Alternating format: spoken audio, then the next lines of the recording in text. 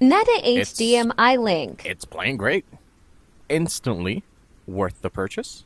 If you have been paying attention to everything going on with the Meta Quest and the metaverse, then you know that they recently released this application called Meta Quest HDMI Link. What this application is supposed to do is be able to use capture cards so that you can display uh, anything on a big screen. I got this capture card la- uh, the week before last, and I tested it out. And while it did connect and it did display, it did not show more than one to 10 frames per second. So it was unusable. I looked online. I didn't want to give up.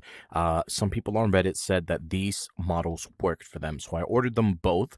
I have the um, HDMI cable that I am going to plug into my device, which is the Anbernic there. And that is the Anbernic 35 uh, RG35XX, the horizontal model. Here we go, plugging it in. Okay, new capture card, yes. So that is, we'll go ahead and check that and we'll hit connect. And it's working.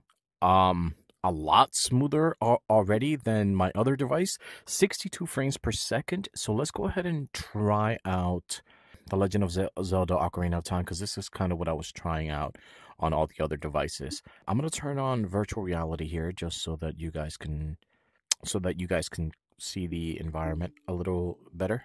And then yeah, let's just let's just keep it like this. That's me over there. Let's keep it like this for now and see how this works.